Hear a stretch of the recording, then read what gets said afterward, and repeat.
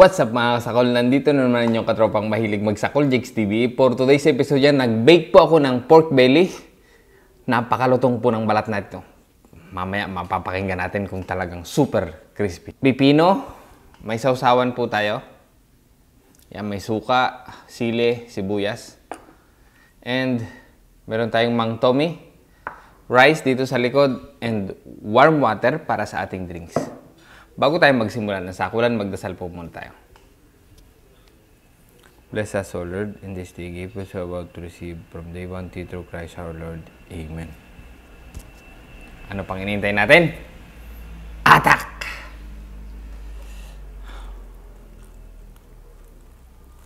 Wow. Malambot na, malutong pa. Unang subo para sa inyo.